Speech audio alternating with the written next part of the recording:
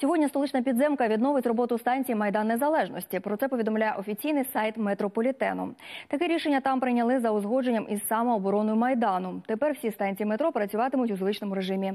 Нагадаю, вчора ввечері свою роботу відновила і станція Хрещатик.